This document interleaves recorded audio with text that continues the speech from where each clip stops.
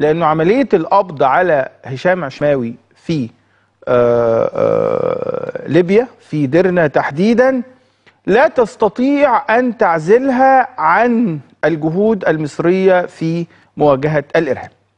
هذه العملية قامت بها القيادة العامة للجيش الليبي. 100% لكن كان هناك دعم معلوماتي مخابراتي مصري وكان هناك تنسيق على أعلى مستوى لأنه هشام عشماوي آه، بالفعل كان يمثل خطرا كبيرا.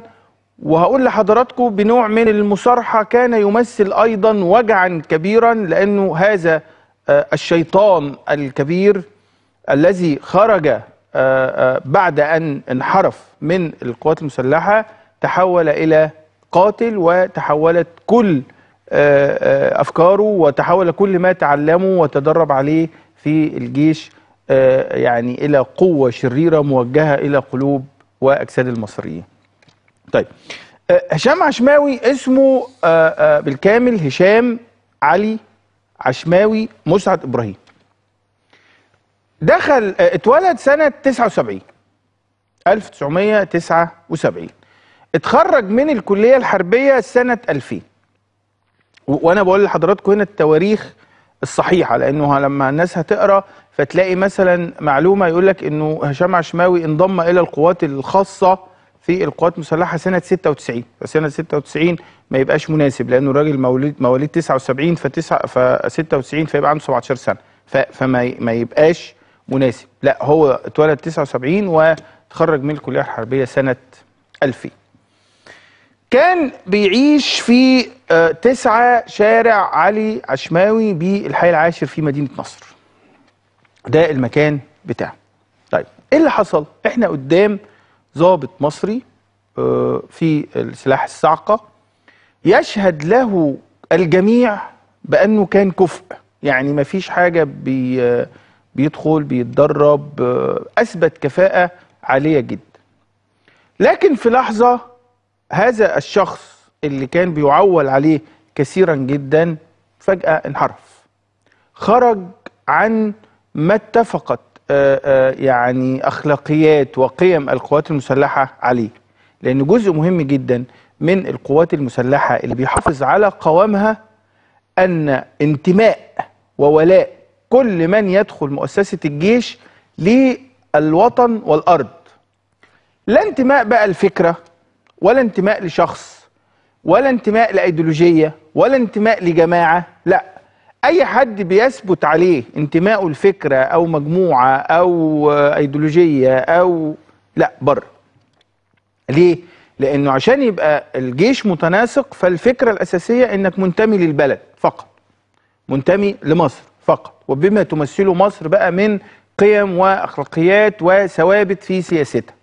لكن تبقى يعني تبع اتجاه ديني لا مش شكرا. مش معانا. اتجاه سياسي لا ما انتش معانا. تنتهج أفكار معينة لا مش معانا.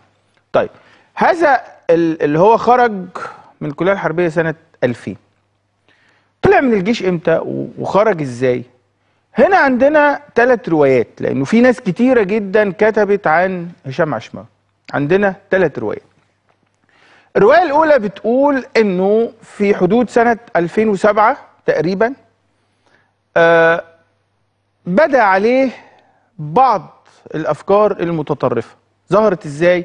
لأنه في آه، جهات في القوات المسلحة تحديدا في المخابرات الحربية بتتابع الناس اللي في الجيش عشان تشوف انضباطهم يعني.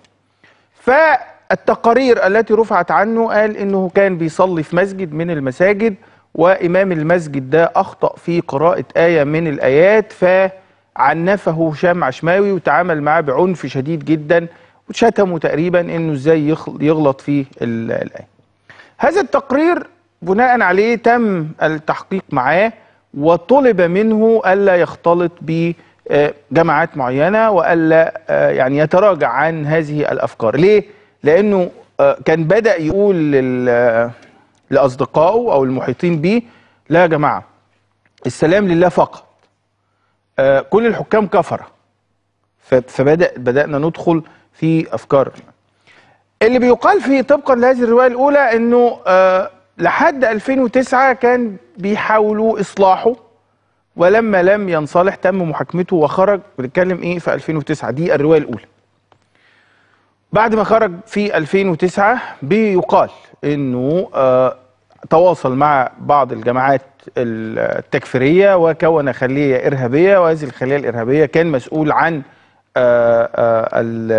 يعني التدريب العسكري لها ثم استمر كامن إلى ما بعد 2011 دي رواية أولى مش مش مش ثابتة بالنسبة لي. الرواية الثانية اللي بتتبناها بعض المصادر الأمنية بتقول لا والله المسألة ما كانتش كده. المساله إنه آه هشام كان بيخدم في سينا وتوفي والده دون أن يستطيع وداعه. هو كان في في الجيش ووالده توفى وما قدرش يودع والده أو يشوفه قبل ما يموت. فبعض العناصر اللي كان بيختلط بيها قالوا له إنه ده بسبب شغلك في سينا وإن أنت قصرت في حق والدك وإن أنت كان المفروض تسيب شغلك ده وتنزل تحت أي ظرف من الظروف. فبدأ يشعر بالذنب ويشعر بالندم وبدأ يكره عمله في القوات المسلحه وهذه الكراهية قادته إلى أن يختلط أكثر بالجماعات التكفيرية. ده كان إمتى؟ بيقال إنه كان في حدود 2009 طيب أه ولما خرج اشتغل في الاستيراد والتصدير دي طبقا للروايه الثانية وكان موجود في مسجد في المطرية بعد شوية عن مدينة نصر وتواصل مع بعض العناصر التكفيرية ثم بدأ نشاطه بعد 2011 دي الرواية الثانية الرواية الثالثه وهي الأصدق الحقيقة. ليه الأصدق؟ لأنه هذه الرواية قالتها زوجته اسمها السيدة نسرين والسيدة نسرين دي كانت بتشتغل مدرس في كلية البنات في جامعة عين شمس. بعد ما آه انضم هشام عشماوي لأنصار بيت المقدس في قضية محال فيها هو رقم تسعة محال فيها 200 عنصر على ذمة آه الانضمام إلى تنظيم بيت المقدس تضم 200 واحد. هو رقم تسعة فيه. نسرين دي اللي هي زوجته كانت الشاهدة رقم 54 في القضية. قالت إيه؟ قالت إن هو فضل في الجيش لحد 2012 لحد 2012 ولوحظ عليه آه بعض الأفكار بتاعه الجماعات المتطرفة فتم حكم وتم نقله إلى قوات الدفاع الشعبي حتى يتراجع عن أفكاره وبعدين يرجع يعني لسلاحه لكن ما تراجعش فتم فصله من الجيش في 2012 ليه الرواية دي أصدق؟ لأنه الثابت عندنا أنه هشام عشماوي بعد ما خرج في 2012 لأنه تواصل مع جماعة الإخوان المسلمين بالطبيعة يعني وخرج من مصر في إبريل 2013 قبل ما تقوم ثورة يونيو. في إبريل 2013 خرج راح على فين؟ طلع بشكل عادي جدا من مطار القاهرة الجوي سافر تركيا ومن تركيا سافر إلى سوريا وهناك انخرط في القتال مع المجموعات المعارضة لبشار الأسد والجيش السوري. وبعد شهور تحديدا بعد عزل محمد مرسي عاد مرة أخرى إلى سيناء. لما هشام عشماوي رجع سينا لما رجع سينا انضم إلى جماعة أنصار بيت المقدس. إحنا بنتكلم تقريبا بعد عزل مرسي لأنه رجع وشارك في اعتصام رابعة وبعد فض الاعتصام رجع سينا في أغسطس في سبتمبر 2013 على طول كانت أول عملية إرهابية كبيرة يظهر فيها اسم هشام عشماوي اللي هي عملية محاولة اغتيال وزير الداخلية المصري محمد إبراهيم. دي أول عملية كبيرة بدأ يظهر فيها إنه مخطط لهذه العملية، كان وقتها في آآ آآ تنظيم أنصار بيت المقدس. فضل هشام عشماوي في تنظيم أنصار بيت المقدس ده لحد 2014 إيه اللي حصل في 2014 طلع تنظيم بيت المقدس أنصار بيت المقدس أعلن البيعة لأبو بكر البغدادي فأنصار بيت المقدس بقوا جزء من داعش. ده ما عجبش هشام عشماوي فأعلن هشام عشماوي انتمائه وأعلن بيعته لتنظيم القاعدة. يعني شفتوا ما شاء الله هو ما عجبوش داعش فانضم للقاعدة. كلها تنظيمات إرهابية يعني اعضائها قتلة. لما انضم هو للقاعده فبدأ ينتقل إلى ليبيا. خلاص ساب سيناء اللي مسيطر عليها أنصار بيت المقدس بتوع داعش و أو المتواجدين فيها وانتقل إلى ليبيا وراح درنا لما انتقل إلى ليبيا أنشأ هناك تنظيم اللي هو تنظيم المرابطين. كويس؟ وتنظيم المرابطين اللي من خلاله بقى قام هشام عشماوي بتنفيذ عدد كبير جدا من العمليات الإرهابية. وعايز أقول لحضراتكم عشان تعرفوا مدى جرم وانحطاط هذا الإرهابي آه ال- الشهداء اللي آه يعني ارتقوا إلى الله في العمليات بتاعه تنظيمه ما عنه لوحده يعني تنظيمه وصلوا حوالي 135 شهيد من 2013 إلى آخر عملية كان هو مشارك فيها هنا في مصر اللي هي لو تفتكروا آه، اللي هي الاعتداء على القوات في آه، الواحات الجريمة بتاعه الواحات الشنيعة دي اللي تم يعني بالخدعة الأمنية وعدد كبير من قوات الأمن الوطني من آه، أبطالنا في الأمن الوطني استشهدوا في هذه العملية. دي كانت آخر حاجة اسمه ظهر فيه. 135 شهيد. لما تيجي تشوف العمليات اللي ارتبطت باسمه أو اللي كان متواجد فيها فتلاقي مثلا الهجوم على كمين الفرافرة لو تفتكروا كان في حوالي 22 واحد من شهداء وكرم القواديس الهجوم على كرم القواديس. الشواهد كلها تشير إلى أن هشام عشماوي كان هو ال- المنفذ الأساسي لعملية اغتيال النائب العام الشهيد هشام بركات لأنه هو اللي قاد العربية اللي فيها المتفجرات وركنها صف تاني في طريق مرور موكب هشام بركات كان موجود بنفسه. في عملية الواحات كان في اعتقاد إن هشام عشماوي موجود لكن اللي كان موجود هو يعني الرجل الثاني في التنظيم بتاعه اللي هو اسمه عماد عبد الحميد وعماد عبد الحميد اتقتل. اتقتل لما القوات طردت آه هذه العناصر اللي قامت بها عملية الواحات في الصحراء واتقتل عماد عبد الحميد. طيب هو كان موجود في ديرنا. اتقبض عليه النهارده العملية اتنفذت طبقا لمعلومات مؤكدة مخابراتية آه، من مصر وليبيا. قبل أذان الفجر تقريبا ب 10 دقائق آه، بدأت العملية. هو كان موجود في ديرنا في منطقة اسمها المدينة القديمة. المدينة القديمة دي مش كبيرة قوي مش مش جزء كبير. ولكن آه، آه، منطقة خطرة لأنه لما دخلها عمل كم كبير من السراديب والمدقات اللي يقدر آه، يهرب منها.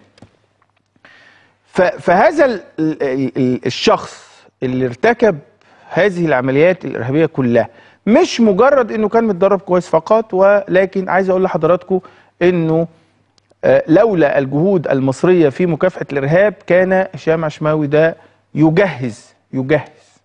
لتاسيس جيش على الحدود الغربية؟ يعني تخيلوا السذاجه بتاعته. على الحدود الغربية عشان آه، يخترق حدود مصر. ولو لم تكن القبضة المصرية أمنية وعسكرية قوية كنا لقينا في مدن راحت بصراحة يعني. ليه؟ لأن أنا هقول لحضراتكم حاجة. كان نتاج تواصل هشام عشماوي ده مع جماعة الإخوان المسلمين في الفترة اللي هم كانوا فيها في الحكم لأن هو خرج من مصر زي ما بقول لحضراتكم إبريل 2013 قبل الثورة بشهرين. فهو كان موجود طول الفترة دي وكانت هناك اتصالات مع جماعة الإخوان إن هم يشكلوا جيش خاص يقوم بتدريبه هشام عشماوي لأن هم كانوا عاوزين يعملوا كلية على جنب كده اسمها كلية الدفاع الوطني. وده كان حقيقي لأن الإخوان كانوا عاوزين يعملوا كليات موازية يطلعوا الناس بتوع بتوعهم. كان عندهم مشروع يعملوا كلية اقتصاد وعلوم سياسية موازية أو كلية إعلام موازية يطلعوا الإعلاميين بتوعهم ويطلعوا الدبلوماسيين والسياسيين بتوعهم. وكانت كلية الدفاع الوطني دي يطلعوا الناس بتوعهم يعملوا جيش موازي. وكان هشام عشماوي ضالع في هذه الخطة. أنا أوري حضراتكم مثلا صوره. يعني ليه ليه ليه صورة شهيرة مثلا اللي هي صورته في الكارنيه بتاع القوات المسلحة اللي هو رائد بالمعاش. ال- ال- الصورة دي فضلت معاه لفترة طويلة جدا. كان بيعمل بيها إيه؟ يعني شوفوا رغم إن هو خرج من ال من ال من الجيش. لكن هذا هذا الكارنيه هذه الصورة كان من خلالها بالكذب وبالخداع يحصل على تبرعات من قبائل عربية بحجة أو بادعاء إنه لا يزال في الجيش وإنه في المخابرات و... وما إلى ذلك. فدي دي صورة ليه. كان ليه صورة بعد كده متداولة لأنه الناس كتيرة جدا آه، ما كانتش تعرف حقيقة هشام عشماوي وفي ناس كتير يقولوا إنه لأ ات- اتقتل لأ ده مش موجود. وهو كان ليه أربع أسماء كودية. يعني خلال مسيرته الإرهابية دي كان ليه أربع أسماء كودية. كان آه، في فترة كان اسمه آه، شريف وفترة كان بيلقب بيه أبو مهند وفت- وفترة كان آه، آه، بيلقب بيه أبو عمر المهاجر آه، وبيلقب بعد كده أبو عمر المهاجر المصري واللقب الشهير اللي كان بيعرف بيه داخل الجماعات الإرهابية المقنع. كان طبعا بينسك حواليه أساطير إنه عنده قدرات خارقة في التخفي. بس التخفي على مين؟ يعني نزل يعني اتمسك زي الفار. لأنه أنا حضراتكم بعد كده لما نشوف ال ال الصورة اللي بعد كده. ورونا بقى الصور النهارده يا جماعة في لحظة القبض عليه. يعني أهي أول صورة الراجل آه الحقيقة يعني لأنه الخطة كانت خطة آه مميزة جدا. هم رصدوا لحظة خروجه لأنه كان خارج من درنا فخارج الحذر أقل شوية والاحتياطات أقل شوية. هو كان معاه اتنين من حراسه واحد اسمه بهاء علي وده مصري والتاني ليبي اسمه مرعي زعيبة. فدي ده أول لحظة القبض القبض عليه. أهو مت- متشلفط يعني. بعد كده آه ليه صوره تانية أهو. هو قاعد هنا تحت رجلين واحد من آه آه رجال الجيش الليبي الأبطال الحقيقة. وهي صوره صوره آه مذلة. لو فكر هشام عشماوي والذي كان واحد من آه رجال الجيش المصري إنه بانحرافه وبخروجه هيصل إلى هذه الدرجة أعتقد إنه آه يعني هيفكر كتير. عاوز أوري لحضراتكم صوره بعد كده من صور اليوم ال ال ال آه هنا. لا دي دي دي وهو بيتعالج. دي بي دي بيتعالج أهو لأن الناس بعد ما لأنه أكيد اشتبك اشتبك وبدأوا يعالجوه. هاتوا لنا صورة العلاج يا جماعة. آه، ومن المعلومات المتوفرة إنه كان آه، هشام عشماوي وهو في رحلة خروجه دي اللي هم قبضوا عليه فيها كان أهو ده بعد ما بعد ما نضف يعني فقاعد. آه، بعد أثناء هروبه كان بيحيط جسمه بحزام ناسف لأن هو كان يعني عامل حسابه إنه لو آه تم آه آه القبض عليه خلاص يفجر نفسه ويفجر ال- القوة اللي جاية تقبض عليه. إحنا عندنا صورة بعد كده لبهاء علي اللي هو المصري اللي هو أحد حراسه اللي هو عندنا صورة بعد كده. تمام؟ موجودة؟ طيب شوفوا لنا لأن هنا لأن هنا الخطة برضو كانت إنه هم بيخلوا المساحة اللي حواليه من رجالته. يعني أعتقد آه أنتوا عارفين في علامات كده علامات. اعتقد انه بقت في قناعة عند آه اجهزة المخابرات انه لما اتقتل عماد عبد الحميد المساعد الأول لهشام عشماوي في حادثة الواحات إن ايقنوا انه خلاص يعني قربنا من هذا الارهابي الخطير جدا. وعايز أقول لحضراتكم إن من شهور قليلة لما اعلن اعلن آآ آآ مقتل آه، عمر رفاعي سرور وعمر رفاعي سرور ده ابن برضو واحد من القيادات الإرهابية المعتبرة يعني. كان في إحساس إنه اقترب موعد إلقاء القبض على هشام عشماوي لأن عمر رفاعي سرور ده هو ال- الشريك لهشام عشماوي في تأسيس تنظيم المرابطين. كان هو آه، عمر رفاعي سرور آه، المفتي الشرعي. يعني ده كان آه، ال- الحركي القائد الحركي وكان عمر رفاعي سرور هو المفتي الشرعي للتنظيم. لأنه ببساطة لم يكن هشام عشماوي متدين. هو كان تكفيري على فكرة وفي فرق كبير جدا. يعني قادة هذه الجماعات الإرهابية مش شرط إن هم يكونوا متدينين خالص. متدين منين؟ ده قاعد بيستحل قتل الناس. هو تكفيري أو متطرف وده عمل سياسي يستخدم الدين في تحقيق أهدافه. يعني خلي بالكم الفرق إيه؟ يعني تلاقوا أسامة بن لادن لا متدين ولا زفت. آه، ايمن الظواهري ولا متدين ولا زفت. أبو بكر البغدادي ولا متدين ولا ليه فيها. أي حد أي حد الم- المرشدين بتوع الإخوان المسلمين كلهم. يعني من حسن البنا ومن آه، آه، ال ال بعد كده لحد محمد بديع. يعني ولا واحد فيهم متدين. وهنا أنا ما بنقولش أنت ممكن تقول لي انت بتحكم على تدين الناس. أيوه أنا بقول لك إن الراجل ده هو آه، بيعمل بالسياسة وبيستخدم الدين لتحقيق أهدافه السياسية. ملوش دعوة بالتدين. التدين بتاع ربنا الإيمان التقوى. يعني الناس تبقى قريبة من ربنا. مالهمش فيه مال- مالهمش على الإطلاق. فهشام عشماوي لم يكن متدين كان راجل تكفيري. وهقول لحضراتكم بقى من المشاهد الدرامية في حياته أن هشام عشماوي لم يقف إماما ولا مرة واحدة لأعضاء التنظيم بتاعه اللي هم المرابطين. ما صلاش بيهم إمام ولا مرة في حياته. وكان سر ذلك أنه يخشى أن يقف أمامهم يديهم ظهره فيغتال. فما حدش يعتقد برضو انه هذه هؤلاء هذه القيادات الإرهابية بتبقى آمنة في تنظيماتها. هم يعيشون في أرض الخوف يعيشون في عالم من ال- الشك والريبة طول الوقت. ولذلك لما تيجي آه، تقول النهارده آه، الراجل سقوطه ده معناه إيه؟ أقول لك معناه معناه كبير جدا جدا. لما ما بنتكلمش على فرد في خلية إرهابية بنتكلم على واحد آه، آه، قائد من آه، قادة الإرهاب اللي دخل مع مصر في حرب آه، عنيفة جدا وشرسة جدا لكن آه، لأنه هذه الحرب التي تخوضها مصر حرب شريفة من أجل الدفاع عن أرضها ما حدش هيعدي يا جماعة وما حدش آه، هيفضل بعيد عن السقوط. كلهم هيسقطوا تحت أقدام آه، البلد دي. لما تيجي تبص مثلا لو لو جيت تدور على رد الفعل بقى بتاع الجماعات الإرهابية بتاع الجماعات الإخوان المسلمين بتاع مش عارف إيه بتاع تلاقي الناس زعلانة وزعلانة طبعا. لأنه آه، هشام عشماوي كان أمل الجماعات الإرهابية في آه، إخضاع مصر. يعني الراجل كان بيعمل جيش في ليبيا عشان يدخل.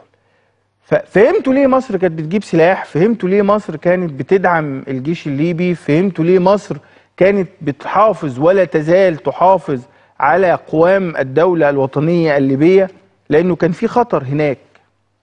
في خطر ولا يزال في خطر لأن دول ليهم آه، يعني توابع وفلول وبقايا ومش هيسكتوا. لكن أنا بقول إن النهاردة الناس بقى يعني أنا أرجو يعني إحنا حاولنا من كل ال- الأطراف كده نجمع قصة الراجل. في بعض الناس بقى يقللوا من قيمة القبض عليه. أنت حر. في واحد شايف إن هو ما كانش خطر. أنت حرين. في واحد شايف إنه يعني الصور دي كذا. أنت ثلاث أحرار في بعض. لكن هذا صيد ثمين جدا. وأعتقد إنه حرص حرص الجيش الليبي والجهات الأمنية والمخابراتيه المصرية الوصول إلى إلى هذا الرجل حي لأنه لديه الكثير جدا الذي يمكن أن نستفيد به وتستفيد آه، به طبعا آه، مصر في حربها ضد الإرهاب. هنيئا لكل من ساهم في هذه العملية. آه، يعني زي ما بيقولوهم أبطال الظل اللي بيشتغلوا بيواصلوا الليل بنهار آه، عشان يوصلوا لهذه العملية. إحنا شفنا صور صور والراجل ممسوك ومضروب وإلى آخره. آه، ما تعرفش العملية دي الناس قعدت فيها قد إيه واشتغلوا عدد قد إيه من الساعات و... وعايز أقول لحضراتكم حاجة المفارقة إنه ال... ال... القيادة العامة للجيش الليبي النهارده وهي بتخطط للقبض على هشام عشماوي كانوا عاملين احتمال إنه يحدث اشتباك وإنه تبقى الخسائر في الجيش الليبي ما بين 20 ل 40 واحد.